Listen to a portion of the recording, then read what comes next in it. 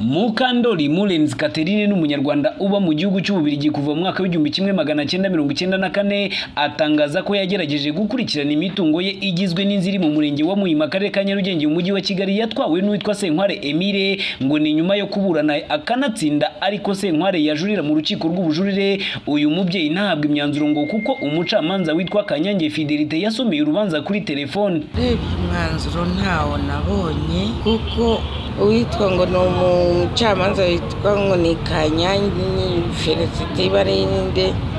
Yaruciriye kuri telefone yarusomeye kuri telefone sinigeze menya ibyo yavanyemo cyangwa se ngo umuntu yisobanure. Bagiye kunsubiza ngo ngo hari abacamanza batatu bagomba ngo kugenzura gusubiramo bari kugenzura sinzi. Icyemezo cy'urukiko rwisumbuye rwa Nyarugenge mu rubanza rwaciwe kuwa makumyabiri n'icyenda ugushyingo ibihumbi bibiri na cumi n'icyenda. Uru rukiko rwemeje ko ikirego cya Murenzi Catherine Mukandori gifite ishingiro rwemeza ko Senkware Emile asubiza Murenzi Catherine Mukandori umutungo uri mu kibanza nomero mirongo itanu na gatatu uri mu mujyi wa Kigali mu karere ka Nyarugenge mu murenge wa Muhima mu kagari ka Kabasengerezi mu mudugudu wa Kabasengerezi rwemeza ko kandi Senkware Emile aha Murenzi Catherine Mukandori indishyi zihwanye na miliyoni makumyabiri n'eshanu n'ibihumbi magana inani makumyabiri by'amafaranga y'u Rwanda ndetse kandi rwemeza ko Murenzi Catherine asubiza Senkware Emile n'abavandimwe be amafaranga angana na miliyoni imwe n'ibihumbi magana inani bari baramuhaye nk'ayo bari bamugurije. Gusa uyu Senkware Emile nyuma yo kutishimira iyi myanzuro y'urukiko yaje kujurira mu rukiko rw'ubujurire ari wo mwanzuro Murenzi Catherine avuga ko atigeze ahabwa ngo kuko icyemezo cy'urukiko cyasomewe kuri telefone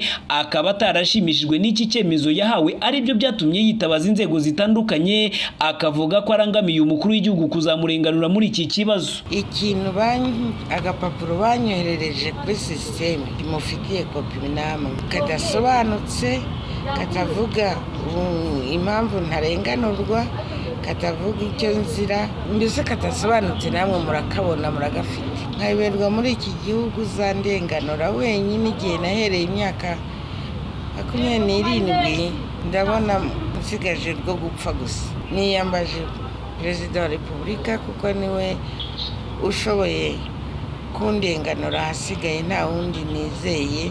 Nandikiye na taransiparansi rwanda iriya yo mu karengane kwa ingabire makire yandikira minisitiri w'ubutabera n'umuvunyi. Sindabona igisubizo. Nizeye ko hazagira undenganura wumva ko akababaro kanjye nagira epfo na ruguru nagira n'unyumva. Nkayoberwa ikintu nakoreye nabi igihugu. Umukuru w'igihugu ndamusaba ko akandenganura hari umutungo wanjye uri hariya mu musingi bataha mu burayi. Ndi umunyarwandakazi ariko kandi ndi n'umubirigi. Niba abana banjye bari n'abuzukuru banjye. Mbe ndi mu gihirahiro cyanjye nyine ni ukuvuga ngo nzapfa. Nihambe ariko nzaba nicwa n'agahinda nterwa n'abanyarwanda bamwe na bamwe. Nta kundi nabigenza usibye umukuru w'igihugu. Nzi ko ari we umara byose nk'imana. Mu nkuru ibanziriza iyi twakoze senkware emile n'umwunganira mu mategeko bari birinze kugira byinshi batangaza kuri iki kibazo gusa bemezaga ko baguze iyi nzu nubwo badafite inyandiko zibigaragaza baguriyeho kubera impamvu zitandukanye zishobora gutera kubura ibyangombwa. Murenzi catherine mukandori arega senkware emile asaba ko yamusubiza inzu yamutije mu gihumbi kimwe magana cyenda mirongo icyenda na kane icyo gihe kaje guhakwa umuvandimwe wa senkware yagurije catherine miliyoni imwe y'amafaranga y'u rwanda ngo ajyane imfubyi z'abana i burayi na nyuma yaho ruhita amacumu Eugene yamugurije ibihumbi magana inani by'amafaranga y'u Rwanda yo kwishyura duwane ku bintu yari atahukanye mu bihumbi bibiri na gatandatu ariko ngo yagerageje kubishyura aya mafaranga bakamubeshya aho bahurira ntibaboneke aho ngo yaje gukurikirana agira ngo Senkware Emile amuhe inzu ye arayimwima ngo barayiguze nyamara nta nyandiko y'ubugure afite n'inzego z'ibanze zarayimusabye arayibura akaba yaratanze ikirego asaba gusubizwa umutungo we akanahabwa indishyi zirunyuranye kuri ubu akaba arimo avuga ko nubwo hamwe na hamwe atigeze ahabwa ubutabera ariko akiringiye yuko igihe kimwe azabona umugiraneza cyane cyane umukuru w'igihugu ko ashobora kumufasha muri iki kibazo kikaba cyakemuka akabona uko asubira i burayi. Gusanga umuryango we na cyane ko ariho abana be ndetse n'abuzukuru bari. Natangiye kurega demiriseti kugeza ubu ariko sinshaka kwiyahura ndacyafite hisitwari ko nabona umugiraneza muri iki gihugu wamenya akababaro kanjye yakandenganura ni ruswa mfite ibyangombwa byose by'iyi mitungo. Amazu yanjye yose nyifite kandi mbikura iwabo. Mu butaka. Umuvugizi w'inkiko mu rwanda harrison mutabazi avuga ko niba uyu mubyeyi atarishimiye iki cyemezo ashobora kuba yaganira n'umwunganira mu mategeko bakaba bareba aho ikibazo kiri ngo kuko hakiri amahirwe niba byanashoboka akaba yakwegera umuvunyi akamufasha muri iki kibazo. Agana umwavoka we amurebere kuko buriya ibi bintu bisaba ureba amadokima inyandiko ntabwo ushobora kumenya ikibazo uko giteye utari mu gusoma dosiye umenye uko imeze umenye aho ni ho ushobora kugira umuntu inama. Ariko ibintu utabisoma utabireba nta nama wagira umuntu ngo udasobanukiwe neza aho gihereye aho uko cyaje urwego ibintu ni byiza niba afite umwavoka amushyira amadokima yose araza kugira inama. Ibarushimwe biwe keve christian btn tv i kigali.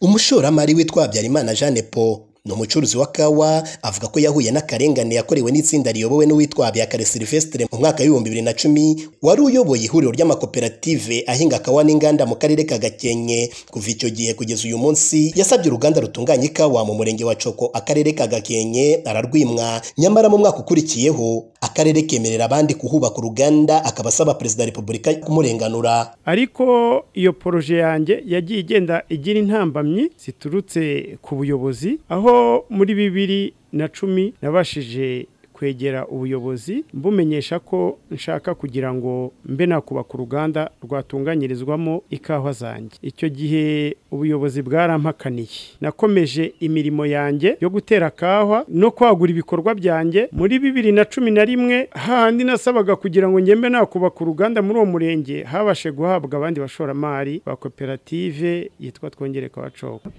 mbere njya kurusaba nta ruganda rwari ruhari. Ariko icyo gihe uwabasha kwapuruva inganda yari niyo y'amakoperative ifatanyije n'akarere yayoborwaga n'uwitwaga habiyakare silivesitire naragenze nararushye. Ubu ngubu icyo nsaba ni uko natabaza nyakubahwa perezida wa repubulika akaba yabasha kundenganura. Yatunguwe nuko mu mwaka w'ibihumbi bibiri na cumi na karindwi. Yabwiwe ko ikawa iteye mu murima we igiye guhabwa uru ruganda rwubatswe muri aka gace kubera itegeko arabyemera. Cyakora uru ruganda ruza kunanirwa kugurira abaturage kawa biba ngombwa ko asubizwa imidugudu ihinzwemo kawa ye ndetse yemererwa kugurira kawa abaturage bari hafi aho. Gusa ngo mu rwandiko yandikiwe haje kugaragaramo uburiganya bwazamuwe na visi meya w'akarere ka gakenke ushinzwe ubukungu eme francois niyonsenga na nyirangwabije therese ndetse na habyakare silvestre bose ni abayobozi muri aka karere. Noneho birangiye bafatana wa musaruro wacu bwite ari nawo twatangiriyeho poroje yo kuba twatunganya kawa ari wo wa murima twari dufite wari ugeze ku buso bwa hegitari cumi n'eshanu bati nawo turawuhereza rwa ruganda rumwe rumwe rwubatswe aho twebwe twasabye bwa mbere dutangira poroje yacu. Byabaye ngombwa ko biba itegeko noneho biba ngombwa ko tugemura umusaruro kwa rwa ruganda. Tuwugemuraho bwa mbere tuwugemuraho bwa kabiri ubwo rero bigeze bibiri na cumi n'umunani babonye ko umusaruro bari bihaye ubananiye byabaye ngombwa ko noneho basubira mu mbibi z'aho bari bafashe. Icyo gihe mu mbibi bari babahaye bakuramo imidugudu ibiri. Muri iyo midugudu ibiri bafashe umudugudu wari urimo ibikorwa byanjye poroje yanjye nkuhabwa nka zoningi ariko muri bwa bushobozi bwabo bo bari bafite gukora ibyo bashaka ko hirya babaga bafite ibindi banateganya twebwe tuba tutazi. Muri icyo gihe mu kwandika inyandiko bayandika nabi. Banga no kuyigaragaza. Ahagombaga kwitwa baramba bahita bukamba. Nyanza coko. Kandi muri coko nta nyanza ibamo.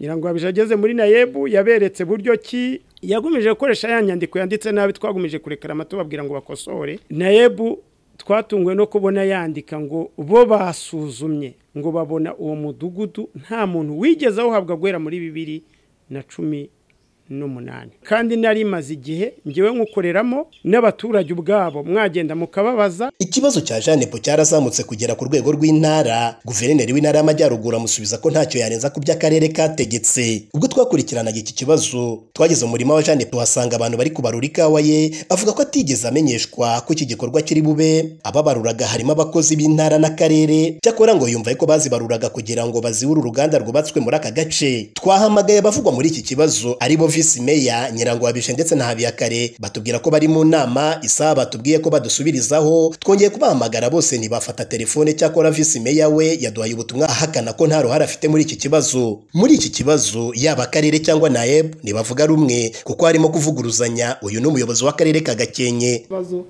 Twagihaye umurongo uhagije eh, hanakurikizwa ibiteganywa n'amategeko.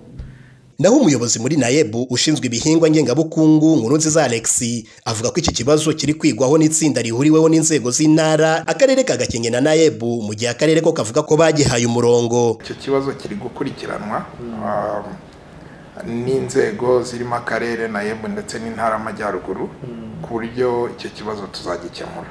Hari hari timu yashyizweho ishinzwe ku- kwanariza neza iyo kesi uko imeze. Mu karere ka gakenke hakomeje kugaragara ibibazo mu buhinzi bwa kawa muri iki gihe aho amakoperative akomeje gutakamba bitewe n'igihombo bagiye batezwa n'ubuyobozi bw'aka karere. Patrick maisha btn tv mu karere ka gakenke mu ntara y'amajyaruguru y'u rwanda